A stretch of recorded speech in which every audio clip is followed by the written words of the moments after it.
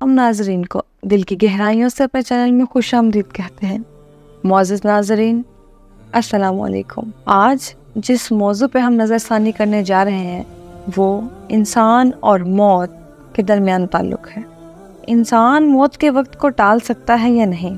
क्या इंसान अपनी ज़िंदगी को तब्दील कर सकता है?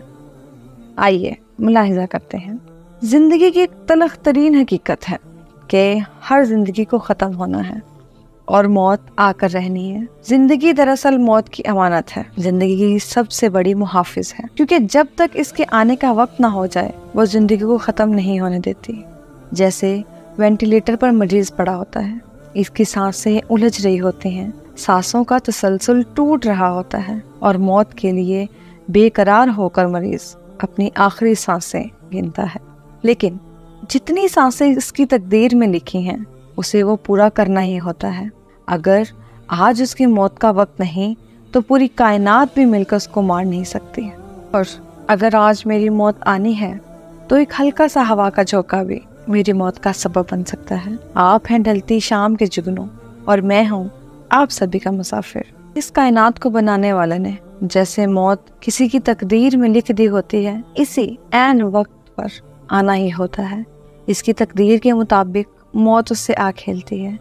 और कोई भी चाहे, वो कितनी ही कोशिश क्यों ना कर ले। मौत को टाल नहीं सकता। इसीलिए मैंने सबसे पहले कहा था कि मौत ज़िंदगी की तलख तरीन हकीकत है। मौत का वक्त तो दरअसल इंसान के पैदा होने से ही शुरू हो जाता है। इसकी पहली सांस के साथ ही इसका सफ़र मौत की जानब शुरू होता है। अगरचा हम ज़िंदगी की मरहलों से गुजरते हैं। दुनिया की रंगीनियों में गुम होकर इस बात को भूल जाते हैं कि हमारी हकीकी मंजिल तो आखिर मौत ही है। बचपन से जवानी और फिर बुढ़ापा। बास तो बुढ़ापे उम्र तक भी नहीं पहुँच पाते कि इनकी मौत का वक्त आ पहुँचता है और वो इस दुनिया फानी से कोच कर जाते हैं। हज़रत अली रज़ी तला फरमाते हैं, इंसान के पैदा होते ही मौत उसका पीछा करने लगती है। और अगर तुम ये देख लो कि तुम्हारी मौत किस कदर तेज़ी से तुम्हारे पीछे भाग रही है तो तुम खाना पीना ही छोड़ दो। अल्लाह पाक ने सबसे पहले कलम और फिर रूह बनाया और इसमें दुनिया को कायम करने हज़ारों साल पहले दुनिया वालों की तकदीरें लिख दी थी। बस, ये तकदीर में तय है जिसको, जहाँ, कैसे और किस वक्त मरना है। हत्या कि एक एक लम्हा लिख दिया जा चुका है।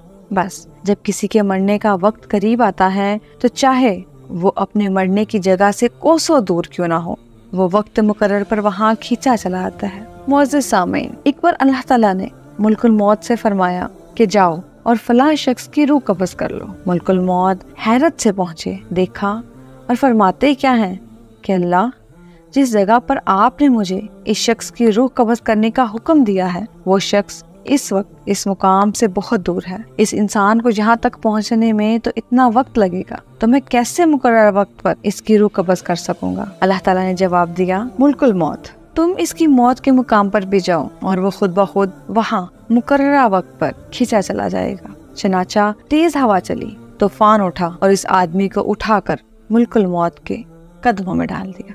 और मुल्कुल मौत ने इसकी रूह कबज कर ली। ये सब अल्लाह के फैसले हैं।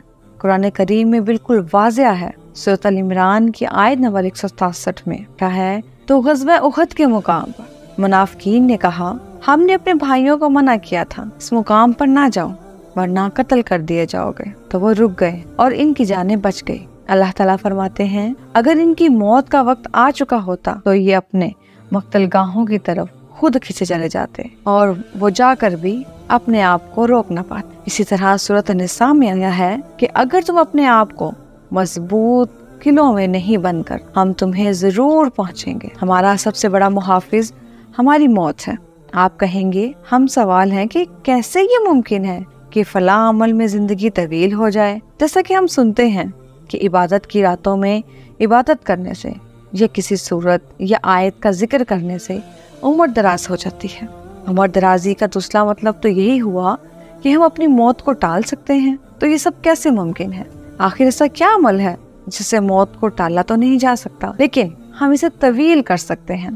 बुखारी शरीफ की हदीस नंबर दो में बयान होता है। जो शख्स चाहता है कि इसकी उम्र दराज कर दी जाए और इसके रिस्क में वाफर मकदार में इजाफा हो तो इसे चाहिए कि अपने रिश्तेदारों के साथ उसने सलूक से पेश आए। इसकी उम्र दराज कर दी जाएगी, मगर ये बात भी नाजरीन तकदीर के दायरे से बाहर नहीं, क्योंकि अगर किसी शख्स की उम्र अल्लाह ताला ने साठ साल लिख दी, इसने सलूक की वजह से वो सत्तर साल तक जी लिया तो इसका मतलब ये है कि उसकी उम्र का तयन हरगिज साठ साल नहीं था। बल्कि सत्तर साल ही था। बस, अल्लाह ने इसकी उम्र में अजाफे का सबब, इसके हुसन सलूक को बनाया। ये सब तय था कि फलां शख्स अपने हुसन सलूक के सबब सत्तर साल की उम्र पाएगा। और ये नहीं कि शख्स ने अपनी मर्ज़ी से उम्र की दराजी की इसने सलूक अपनाया, बल्कि ये भी अल्लाह ताला ने इसे तोफीक दी, जो इसकी तकदीर में लिखा था। और बेशक अल्लाह जिसे चाहे हिदायत देता है, और वो हक हो जाए। बेशक हम सभी तकदीर पर लिखा गुजारते हैं। फिर चाहे वो खुशी हो या गम, हम खुशी के मौके में खुदा से गाफिल हो जाते हैं, लेकिन गम में अल्लाह के सामने बैठकर तकदीर को खोलते रहते हम सब ये जानते हैं कि एक ना एक दिन हमने ज़रूर मरना है, लेकिन हम सब ये भी जानते हैं कि कोई भी अपनी खुशी से मरना नहीं चाहता, बल्कि मुल्कुल मौत हज़रत मूसा सलाम के पास एक दफ़ा तशरीफ़ लाए और इन्हें साथ ले जाने का कहा।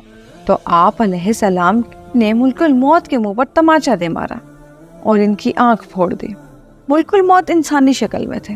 जब अल्लाह के पास शिकायत लेकर गए कि आप मुझे इस आदमी के पास भेज रहे हैं जो मरना नहीं चाहता तो अल्लाह पाक ने फरमाया, तुम इसके पास जाकर कहो कि वो बैल की पुश्त पर अपना हाथ रखे। इनके हाथ के नीचे जितने बाल आएँगे, इनके इतनी ही उम्र दराज कर दी जाएगी। सैकड़ों साल की ज़िंदगी दे दी जाएगी। जब हज़रत मूसा को ये पैगाम मिला तो उन्होंने दरियाफ्त किया कि इसके बाद क्या होगा।